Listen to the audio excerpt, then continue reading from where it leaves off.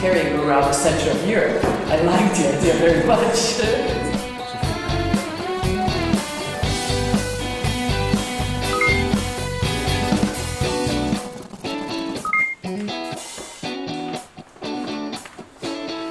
Since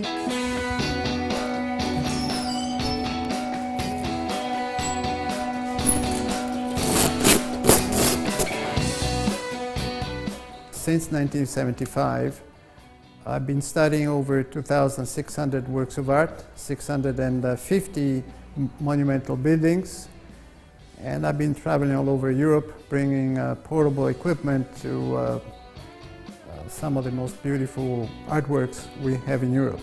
We are actually seeing and looking at our past. Our past doesn't necessarily mean, as today we tend to believe, that it's gone. Today, that's what you see.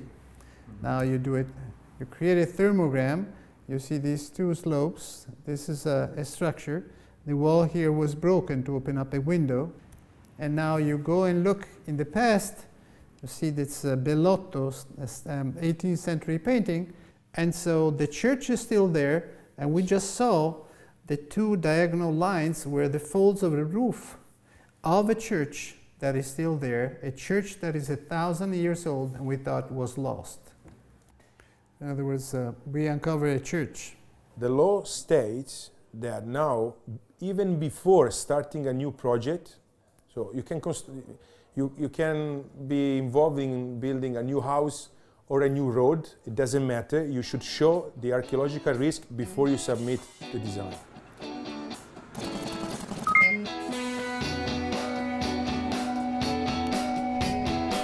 Yeah, basically, we think of ourselves as a bunch of uh, scientists with dirty shoes. And most of the times, we are sitting in a van and, driving around. So,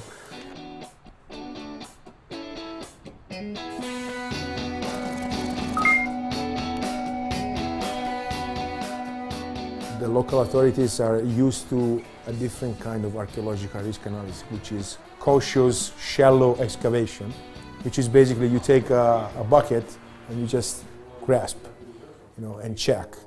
Uh, the funny story is now that we have used these new machines that we showed you that are really highly technological. If you are able to scan 170 hectares in one month, then you can go and look in detail in some specific spots. And the same, exact, exactly the same uh, concept is used for agriculture and for wine. Uh, I decided to move from the field of medicine to cultural heritage, applying the same methodology, most of the technology, and some technology I tried to um, build myself or modified. Okay, I, I am uh, actually originally an electrical engineer. And I think this, the very basic idea of what an engineer is all about um, is uh, that is using the ingenio, that is the, uh, this creativity to search for solutions. For example, the measurements that you saw today are used to monitor the oscillation when you are building a big uh, wind farm.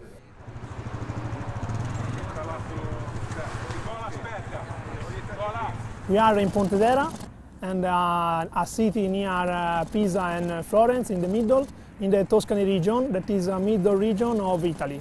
Green energy is not the future as uh, a lot of people uh, think, but is the present. And I would like to, gi to give my, uh, my work and my passion to this, uh, to this kind of, uh, of situation. Yeah, the future is that uh, uh, we, th we think that uh, in less one year we will have uh, three more uh, wind turbines here. We have uh, a construction site of a photovoltaic plant near our office. We, we saw in front of our, our office a particular structure where we decided to install the, the solar plant. No, no, no. We we we don't. Uh, we didn't build uh, nothing. The, the, the owner of this uh, this uh, build destruction is uh, the municipality of Pontedera. Now we with this uh, solar plant we we change the the view of the of the skyline on the rooftop. Well, you see what is the result of centuries of transformations, modifications, changes. Changes not only structure changes, but also changes of use.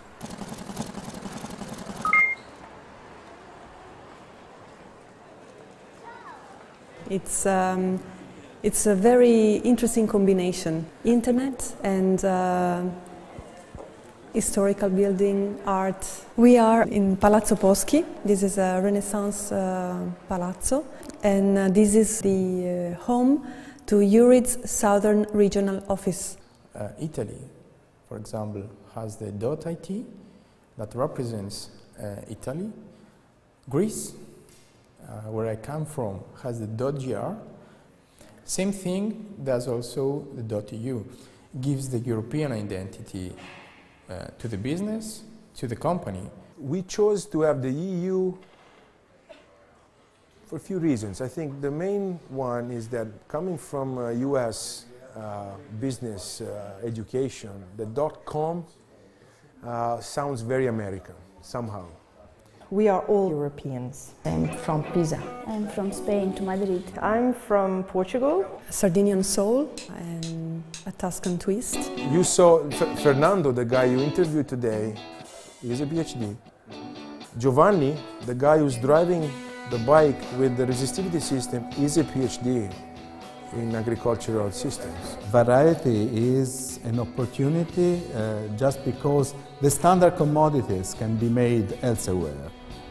Probably this would not ha- have happened a few years ago because there were more funds to keep these people in the university. Much more uh, could be made if we think of the uh, business opportunities not only uh, in, in, in technology but also in humanities.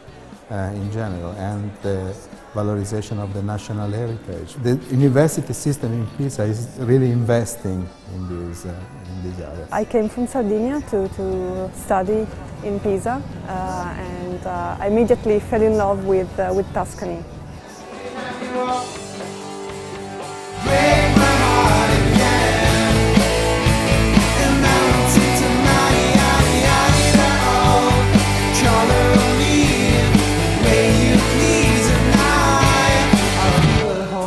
Tuscany, it is not easy to be a band that plays this kind of rock with uh, English lyrics.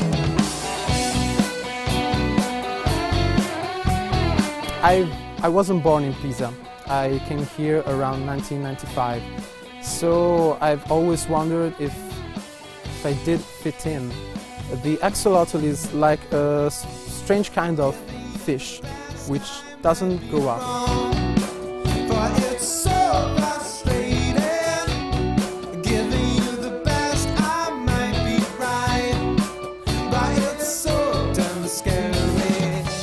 I'm Federico.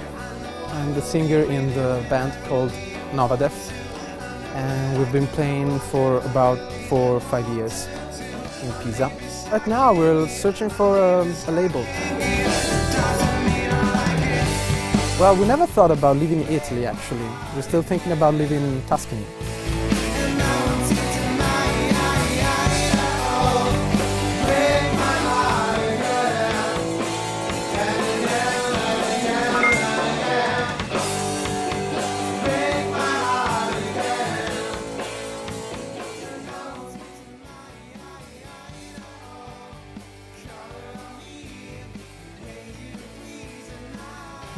Hope to find a continuation of the wall of the Roman settlement.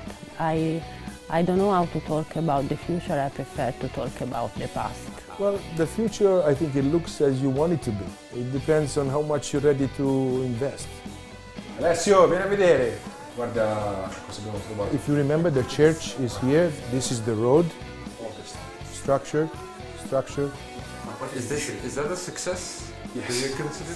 I think this is more than enough to start the project. Every work of art has a story to be revealed. I uh, started searching for this mural, believe it or not, in 1975.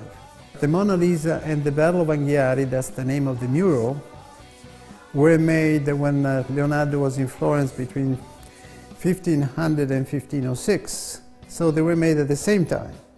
Once we find it, it is, uh, we, have, we would have found the masterpiece of the Renaissance and the most important work of art ever conceived and made by Leonardo da Vinci.